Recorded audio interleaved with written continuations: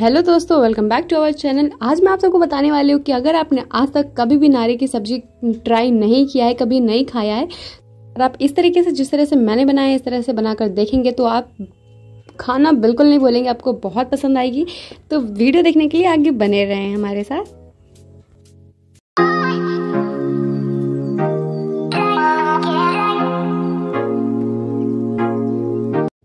तो यहाँ पर नारी की सब्ज़ी बनाने के लिए यहाँ पर मैंने पूरे पाँच बंडल नारी ली है।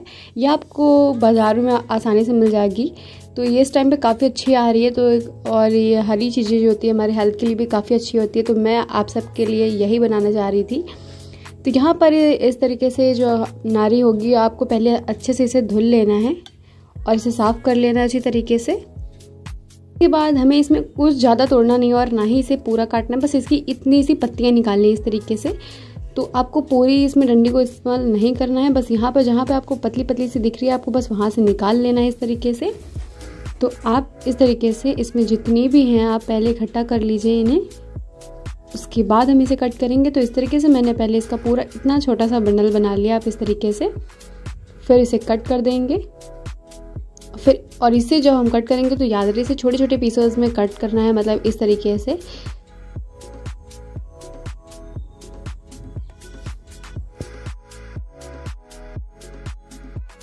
देख सकते हैं कितने प्रॉपर तरीके से कट की। तो इसी तरह आपको सारी नारी को काट लेना है इस तरीके से।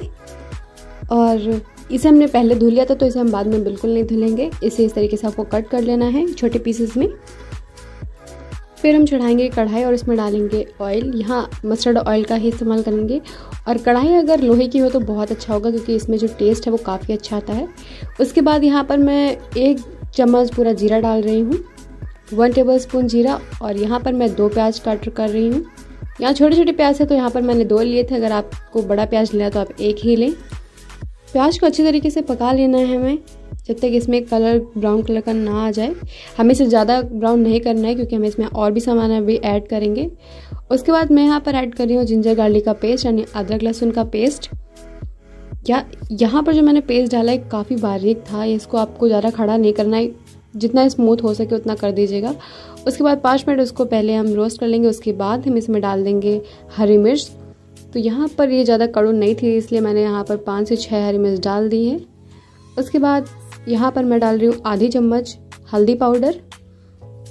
यहाँ पर मैं छोटी चम्मच का इस्तेमाल कर रहे, कर रही हूँ। ये देख सकते हैं आप, मैंने इस तरीके से चम्मच का इस्तेमाल किया है। या फिर इसमें मैंने डाला है एक चम्मच धनिया पाउडर। फिर अपने स्वाद के अनुसार नमक डाल देंगे। यहाँ पर मैंने वन टेबल स्पून नमक डाला है। और यहाँ मैं छोटे चम्मच का इस्तेमाल कर रही हूँ तो आप अपने स्पून के हिसाब से आप मसाले को ऐड कर सकते हैं। फिर उसके बाद यहाँ पर मैंने हींग डाल दी है, आधी चम्मच। इसे मिक्स कर देंगे और पाँच मिनट तक के लिए इन सारी चीज़ों को अच्छे तरीके से हम पका लेंगे पहले।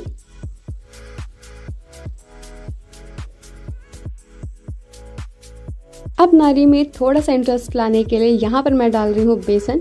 बेसन डालने से क्या होता है, जो नारी का जो टेक्सचर होता है, काफ़ी ज़्यादा अच्छा हो जाता है। इसे डालने के बाद ना जो नारी का, जो नारी जो होती है ना, वो काफ़ी ज़्यादा सॉफ्ट बनती है और काफ़ी ज़्यादा खरी खरी हो जाती है, जिसे खाने में बहुत अच्छा लगता है।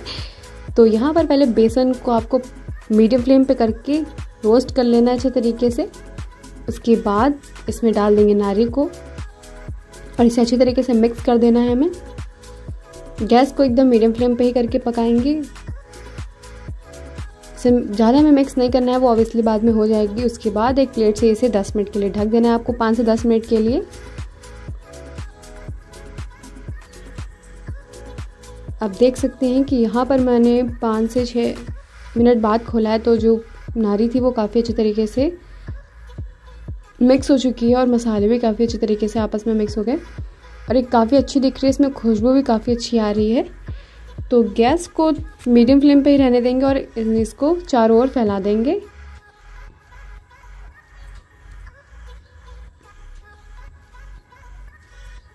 जब आपको लगे कि अच्छी तरीके से पक चुकी है तो अब इसे हाई फ्लेम पे कर देंगे और मैं यहाँ पर इसे हाई फ्लेम पे करके पका रही हूँ दो मिनट के लिए सिर्फ़ और सिर्फ़। ज़्यादा नहीं, वरना ही जल जाएगी। तो ये रेडी हो चुकी है खाने के लिए तो चले मैं आपको सर्व करके दिखाती हूँ कि कैसी बनी है ये। तो आप सुबह का नाश्ता बहुत अच्छे तरीके से कर सकते हैं इसके साथ, क्योंकि नारी की सब्ज़ी खाने में बहुत अच्छी लगती है आपका भी। अगर आपने अभी तक ट्राई नहीं किया है तो आप इसे ट्राई करके ज़रूर देखें, और ये बहुत अच्छी बनती है। तो वीडियो अच्छा लगे तो वीडियो को लाइक कर देना और चैनल को सब्सक्राइब ज़रूर कर लेना। मैं आप सबके लिए ऐसी वीडियोस लाती रहूँगी, आपकी हेल्थ से रिलेटेड वीडियोस और आती रहेंगी और आपके टेस्ट के रिलेटेड सारी वीडियोस मैं अपलोड करती रहूँगी। तो ऐसा ही अपना प्यार दीजिएगा और ये इस वीडियो में कमेंट करके ज़रूर बताइएगा कि आपने अभी तक नारी की सब्ज़ी खाई है या भी नहीं।